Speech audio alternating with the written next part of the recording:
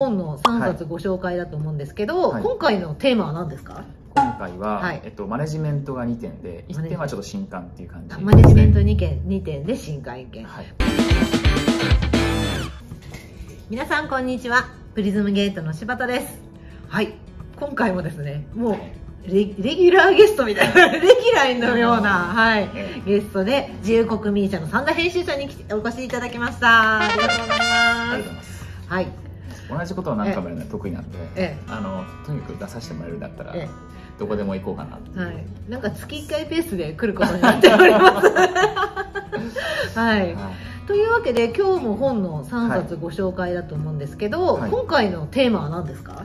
今回は、はい。えっと、マネジメントが2点でマネ1点はちょっと新刊っていう感じです、ね、マネジメント2件2点で新会見はい。これはあのき起業家社長さんは必見ですね。あ必見だと思いますね、まず1冊目いいで1すか？冊目どうぞ1冊目いってください。はい。社名をねえ、社名がこう英語なんでね、ちょっと 社名が今、ええっと、日本能率協会マネジメントセンターっていうところが出しているえ心理的安全性の作り方っていう。心理的安全性の作り方。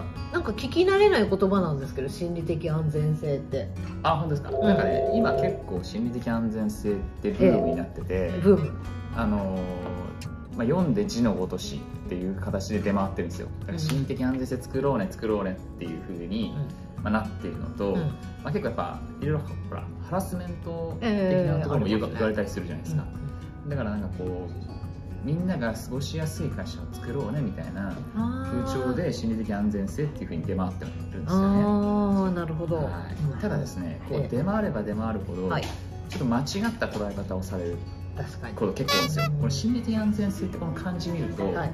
なんか部下が過ごしやすいようにしなきゃいけないってまず思あうじゃないですか、まあねはい、ね。ええ。でハラスメントっていうのが流行ってるから、ええ。なんか厳しいこと言っちゃいけないとかあるでしょ。そうそうだからあの最後はちょっとメンタル病むかもしれないから、放っておこうみたいな結構あるんですよ。放置プレイになそうっちゃうそれがよく言われるゆるホワイトブラックみたいな。ね、ユルホワイトブラック。ね、若手はそういうふうに思ってないんですよ。成長したいと思ってるし、ええええ。何かあれば言ってほしい。えアドバイスが欲しいし、ノウハウも欲しいって思ってるんですよ、えなんだけどなんか上の世代はええ。そうじゃなくて若い子はちょっともしかしたら気づきやすいかもしれないから、何も言わないでおこうえっていうふうに。ね、ちょっと遠巻きになっちゃう。で心理的安全性も大事だしみたいなね、はい ことで ええ。結構その触れない人が多いんですけど、そこが間違ってる。それはちょっと違うんですよね、はい。はい、そうすると若手は何もこう成長しないうん。で一番大事なのは会社が発展することなんですよこれ、あのどの世の中になったとしてもこれ会社が潰れたらえ意味ない、え意味ないですね。はい、でここは大前提に置かなきゃいけないですね、はい。会社を発展させる、はい。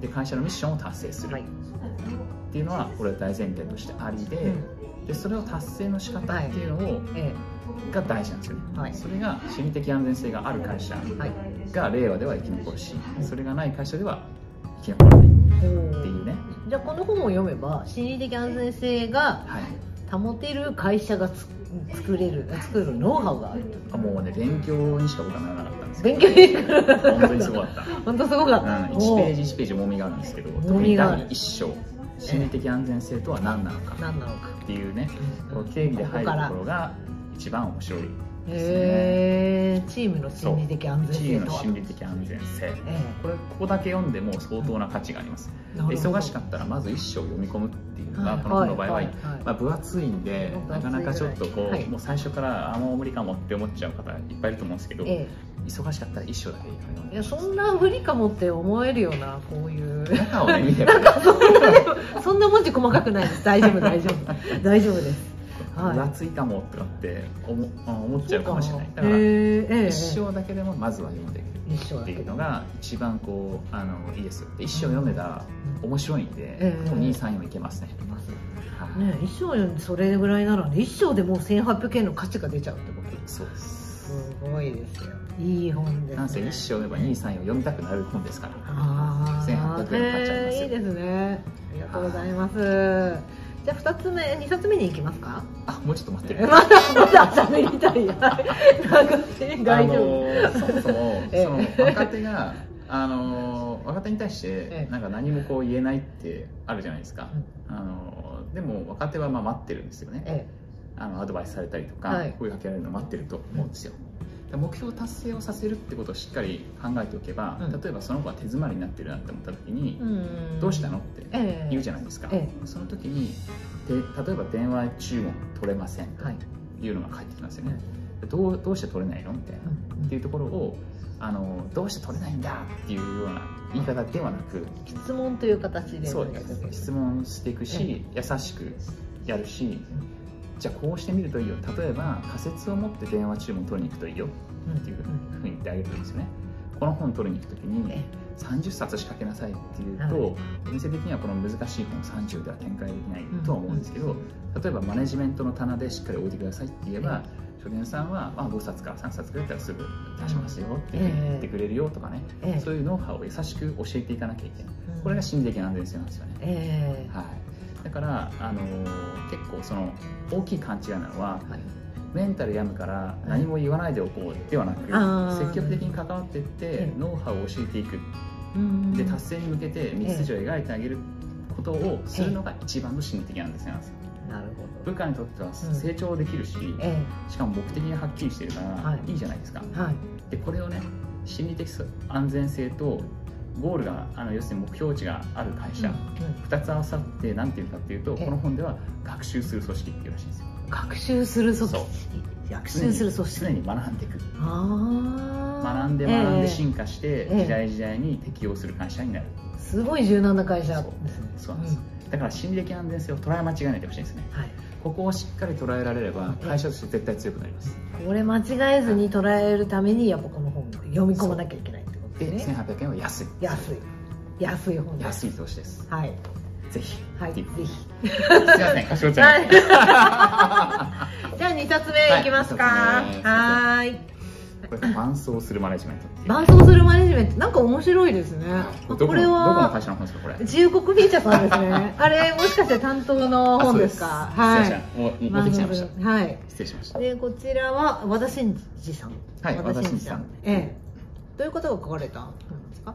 まあ、経営コンサルタント経営コンサルタントさんが、うん。で、えっと、ちょっと待ってくださいね、はいまあ、経営コンサルタントで、えっと、もともと東面っていうところで働いたんですよ、トヨタ通商トヨタ通商。ってい。うえ。で、まあ、日本オラクルを経て、2003年にそのリンクモチベーションっていうね、えまあ、要するにそういう人材コンサルとか、ええ。ーそういうところの専門会社ですね、ええ。そこに入社して、バリバリやって、えー今は株式会社トゥルーワード代表取締役ということで、うんまああの人まあ、要するにリーダー研修とかリーダー研修とか。リーダー向けのおまあ、コンサルタントっていう形で、うんここに年間500回のマネージャーとの面談を通して分かったっていう年間ここに。500入ってるんですよ年間500人とね合ってる。大変です年間500人のリーダーと合ってるリーダーと合ってると。まあ、要するにチームマネジメントのおまあ、プロ。チームマネージメントプロね伴走するっていうのはなかなかね、はい。今まで見たことがない感じではあるんですはいけはい。どはい。伴走って要するに、あの盲目ランナーの方いらっしゃるじゃないですか、はいはい。でそれを一緒に伴走して走る人いますよね,、うん伴走者っていう、まさにあのイメージでここに、あの走ってる人がいると思うんですけど、うん。走ってる人。はい。部下と一緒に走ろう、部下と一緒に転じてね、ええ。はい、でまあ要するになんでその伴走するっていうタイトルなのかというと上司と部下もしくは社長とプレイヤーたち。はい。でこれ見えるしか全然違うんですよ。うん。確かにね。ええ。全然違うじゃないですか、えあの社長はもう売り上げ大事だから売り上げ高めなきゃいけない。えはい。売り上げ高めろって言うかもしれないけど、はい。あのプレイヤーたちは日々一生懸命やってて、はいどうやって高めていいか分かんないわけですよ。うんでも社長には見えてるかもしれない、新しい新規事業を取り組むためにええ。新規事業を取り組取り組んであとは新規店開拓して売うん。り上げ上げろっていう意味なのかもしれないけど、えプレイヤーたちはいや今厳しい時代で、ええ。俺たちは一生懸命やってるんだって、ね、でも視界が全然違うから、えうんっていうとこうそうですね。ええ。ここを合わせなきゃいけないよっていうのがこの伴走するマネジメントっていうことなんですよ。なるほどじゃあもう上ね上と部下と全部ねリーダーと部下では全然見えてる景色が違うからちゃんとすり合わせなきゃいけない。そう。そうそれが伴走そうですそうです。はい。で昔みたいに飲み会も今行かない飲みニケーションできないじゃないですか。えね、であとはやっぱりその定定時で帰る。要するに生産性を高めることがえ。重要だって言われてますよね、はい。だからあの会社の中でダラダラダラダラ喋ったりとか、えうん。まあ、成長させるためにこう1時間別の場所を呼んでとかっていうのはなかなか今できない時代なんですよ、えなので余計にその視界を合わせておくっていうのが大事な時代になってるんですよね。はい。なるほで視界の合わせ方に、はい。じゃあどうすればいいんだってなるじゃないですか。どはい。それが書いてある。そうそうそれが書い。てある、で、まあ、ここでちょっと紹介しますけど、はい。視界を合わせるためにはなんか7つ大事なことがあるらしいんですね。和田さん曰く、えまず結果を共有すること。え結果を共有する。例えばでいきますけど、はい。あの新人の研修の企画を作ってください。はいはい。にえ投げるとするじゃないですか、はい。そしたら結果はまず新人新入社員の成長っていうところにいけないんですよね、ああなるほど、うん、ここがまず実は共有できてなくてとにかく新人研修の企画を作ってくれよみたいな、まあ言ったね。ええあの結構するあこれね何のためにとかそうういうのが伝え忘れてる状態に。結果はどこですかっていうのが まずわからないと、うん。あの走れないんですよね。あそうですね。で2つ目がその構造化させるってことなんですよね。えじゃあどうやって新入社員の成長のプログラム作るのっていう。例えば能力別に分けたら、えー行動量とかコミュニケーションとかあのそういったものを磨くためにやるのか。えはい。で、えー手法こう、えー、と能力があって手法があってじゃあこの2点で攻めるとしたらじゃあ手法っていうのは実務支援によってそれを行うのかそれともセミナーによって個人の能力を高めていくのかとかいろいろあるじゃないですか、まあ、そういうなんか構造化してどうやってこの新入社員の成長を促すのかっていうのをあの分解して伝えなきゃいけないツリーで伝えてもいいし、え円グラフで伝えてえもいいこういう流れなんてんですよみたいなそういうこういうフローですよっていうのが分かる。今のは能力別手法別のなん。かうん2つに分けるっていうやり方で伝えたんだけど、まあ、とにかくこういうふうにやっていこうねみたいなのをなんか図版化しなきゃいけないっていうそれが構造化っていうところなんですよね。で3つ目が水準です。水準。要するに顧客との接触が自分でできるレベルになればいいのか、例えば商品知識はこのぐらいのものをあの、うん。あればいいのかとか、ええ。どのぐらいまでをあの意味するのか、うんうんあの一緒にプロジェクトとしてやるのかええ。っていうところをあの、まあ、共有しなきゃいけない。共有しなきゃいけないと。まあどのぐらいのレベルまでの研修にするかみたいなそういうところ。どういう水準でやるのかみたいな、で4番目としてはそのエピソードですよね、エピソード。そうだから新入社員研修をなぜ渡したかってことなんですよ。ああなぜあなたに企画作ってもらうのかみたいな。そういう例えば、は今の会社がはい。その社社員で社員でそれぞれレベルがパラついていて、えお客様に確率的なサービスを提供できてないとか、えうんうん。営業があの営業力がそれぞれ違いすぎて、うんはい。ノルマのパラつきがあるとか、えそういったことがあるからやろうねえなのか、うんまあ、自分が困った経験があるからやろうねええなのか、えそういうところで結構その本気度とか伝わるとって違ってくると思うんですえよね、えエピソードの共有をしたしたいってことです、であとはもう当たり前の予算とか予算とか。これは絶対に必要で,、えで最後の最後で目的ですね。えあ目的。うん。なんで社員研修やるの？みたいなさっき言った一人一人のススキルに差がありすぎるから埋めていくためとかね。うん。でこういったものをええ同じ視界として共有できているかっていう、はいはい。で逆にこれを具体的に描いていつも伝える癖をつけ作っておけば、うん。まあ、部下もそれを用意してええ。で分からないところを聞いてくるじゃないですか、えええ例えばその行動量を増やすって具体的にはどういうことなんですえか、とかうん。そういういい質問も出るようになるんですよね、はい。いい問いが生まれるんですよ。はい。だから視界を共有して一緒に走っていくってことが大事ですよ。っていうふうにこの本では伝えています、なるほどサンさん語りますね。こ れさすが担当編集者さん。これはね えあのもうマネジメントは僕もねちょっと最近やっぱり、ええ。うん、チームを動かすのにどうするんだっていうのをよく思ってるんで、うんうん。これも学び大きい一冊でしたねで自分で言うなんて話だえ すい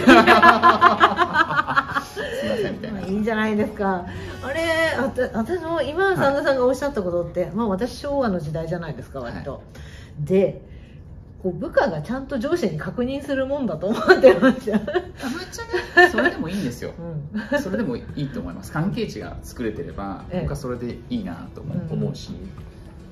でもなんかこう今ってええ。そればかりじゃないじゃないですか。昔はやっぱり先輩に聞きに行くもんだってそうそうそういうねありました聞いて覚えるあと先輩の背中見て覚えるとか僕それはが実は一番早いと思いますよ。あまあね先輩の背中見てそうそうそや。う成功したいとそれは思ってるから聞きに行く,、行くわけで、えで成長したいと思ってるから背中見るわけで、え僕は実はそれが一番早いと思うんだけど、ええ。まあ、今はやっぱ多様性があって、まあ、そうそういうそれだけじゃないじゃないですかね、うん、確かにね、うん。えだからやっぱ聞きに行きづらいんだよなっていうのもあると思うし、ええ。まあ、やっぱ相性とかもあるから、えまあ、そそれではなく、えまあ、誰とでも話が合うようにさっきの基準を基決めて決めて、まあしっかりこう視界を共有してうん。一緒に走ると、ええ。ーいうふうにやっていきましょう。えなるほど。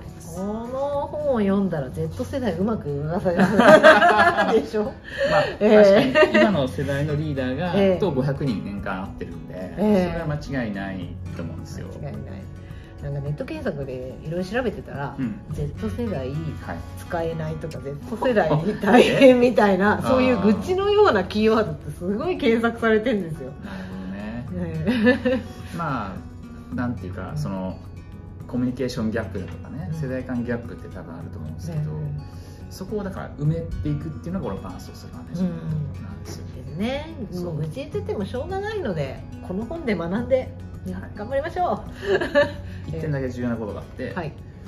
えーやっぱり目標達成っていうのはこれも本もうん同じなんですよね、ええ。やっぱ会社というのは目標達成しないとでそして個人としては目標達成して成長していかないとえ先はないんですよね。でそのためにじゃあどうするかっていうところで、コミュニケーションには優しくうん。ルールにはやっぱ厳しく、まあ、基準ですね。水準には厳しくええ。目標値を下げていたらえクライアントにいい商品提供できないんですよ。確かに。これはもう絶対に落としちゃいけないんです、えなんだけどそれを達成するためにはええ。先ほどの心理的な内容と一緒なんですけどええ。やっぱりあのコミュニケーションをしやすい雰囲気を作るんでええでこの7つの視界ですね。この7つの視点をいつも共有して、えーまあ、プロジェクトを動かすといい言葉ですね。あのコミュニケーションに優しくルールは厳しく。そうコミュニケーションは優しくルールには厳しく、ええええ。このように書いたんです、ここに。えールールには厳しくコミュニケーションは優しくが原則ですね。ええ。ルールとコミュニケーションを分けよう分けようとさんおっしゃってるんですけど。確かに。うん。まあ本当にあのーえ心的安全性も伴走するマネジメントもそこは一緒なのかな。なるほど。いい本ですね。はいはいありがとうございます。じゃあ3冊目いっていいですか？はいすみません。はい。ほんでねこれは5分ぐらいで、えーはい新刊なんでねちょっと。新刊なんでちょっと紙なんです。紙ですけれども。はい。カメラマンになって月収を100万円にする方法。惜しい。いきなりが入っていきなり。小さい小さい。まあいきなりなくてもいいんですけど、はい。はいなんかすごくセンセーショナルなタイトルじゃないですか？そうですね。おインパクトありますあねの坂口浩二君坂口さんが。カメラマンで頑張ってくれました。そうそう頑張り経営者チャンネルでも以前ね出たことが。あ、はいご出演いただいたんですよ。まうん。あやっぱりそのみんなやっぱ月収上げたいじゃないですか、ええ。うん、で儲けたいっていう僕はとても大事なモチベーションだと思うんですね、えまあ、そのためにじゃあどうするかっていう時にえカメラマンでやってみないかっていうのがこの本のテーマ。ああになるほど。カメラマンってほらなんかちゃんとカメラ専門でやってる人じゃないとなれないんじゃないかなって雰囲気がありますけど。専門学校とかええ。僕も通わなきゃいけないんじゃないかなと思ってたんですけど、うん著者はえ。普通のあの4年生大学出て、はい。でその後独立した時にえあのカメラ買って、えはい。えー Mac 使ってはい。レタッチしてっていうところで実務でええ。カメラマンになってった人が今回本書いてます。あ実務で、はい。じ要するにど独独学。学独学。独学。じゃあ誰でもカメラマンになれる可能性はあるってことあですね。もうまさにそれを言いたい本です。うーん。で今ほら YouTube 撮影とか動画のサムネ撮ったりとかするし、SNS でやっぱりあのプロフィール写真とか撮りたい人いっぱいいるじゃないですか、はいカメラマンのニーズって昔よりやっぱり上がってきてると思うんですよ、えだから、まあ、その時代にあった、あのししえーとまあ、本なのかなっていうところで、えでスキル、まあ、もちろん高いことは重要なんですけど、え今機材って結構進化してきますよね。え進化してますね機材は。でタッチの技術もええ。SMAC がどんどんバージョンアップしてって進化してるじゃないですか、はい。技術でなかなかこう変化が、うんあのつけるのってなかなか難しいし。技術だけで差別化できないと思います、まさにはい。ねウェブもそうです。はい。じゃあどこであの仕事獲得するのかっていうのをこの本に全部入れたかなっていうお客さんとのコミュニケーションとか、えええお客さんへのやっぱりサービス精神とか、ええ。まあ、そこがすごく大事なんだっていうことを、まあ、ええ。ひたすらこう分かりやすく書いてる、えなるほど。カメラマンって書いてありますけども、商売の基本が書いてあるんじゃないですか？もしかもしかして。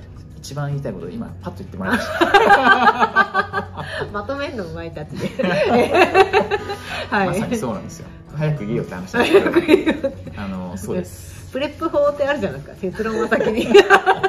一番苦手なんですよ。すか？すいませんなんかね。えこの時代にあってはならないあの話なんですけど。えはい。はい。まあもちろんそうです。だから商売の基本と。商売の基本が全部入ってる、でああええ。ー、ともちろんカメラマンも別に独学でやってもいけるよってえいう、えでそれを愚直にやることで月収100万僕は達成しました。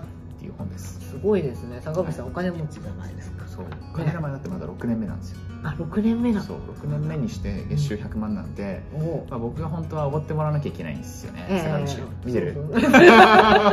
おごってもらってくださいよ。毎回ねちょっとそういえばおご、ええ。なんかおごっとったなええ。年齢的にはね8個ぐらいしたんです箱ぐらいけどちょっとなんか年収的には逆転されてるんで、ね、あのえ今度おごってもらおうかなと。ああそうですね。大々的におごってもらってください。この本作って思いましたね、というわけで、えっとはい。9月5日かな？5日から発売しております。9月5日から発売しております全国の書店。結構ねアマゾンランキングとかすごい上じゃないですか。あの売れてから良かったですね、えなんかあのえヒット中。結構ネット書店でも売れてるっていうふうには、ええ。あの担当の人からええ。会社に言われてますし、うん。まあ確かにかこのタイトルって合いそうですよね、そうそうそう、ん。これカメラマンとかいうわけではなくても商売の基本の本なので、まあ、社長さんとかね経営者が読んでもはい。すごくためになる本だし社内でカメラマン育ってもいいですよね。そうねね。そうそうそう。確かに。そうそうそれはいいですよね。確かに、あね。あの経営者としてはありだと思いますねそうそう。そううん。うん。いいじゃないですか。経営者チャンネルならではの柴田さんもねありがとうございます。ありがとうございます。はい。もうこの本いい本なのでぜひ買ってください。ありがとうございます。ぜひお願いします。はい。というわけで、はい。フィフィニッシュでいいんですか？はいフィニッシュで大丈夫はい。というわけで今日はあのマネジメントはいをテーマにですね、三冊の本をお送りいたしました。はい。ありがとうございますあれ大丈夫ですか？は何か言い残したことはないですか？あのすみません、はいまた長くなってしまいまして、はい。えっ、と毎回ねこの後ね怒られるんですけども、は 今日はちょっと大反省会しようかなと思ってます、はい。じゃあどうもありがとう。最後までご視聴いただきありがとうございました。ありがとうございました失礼します。失礼します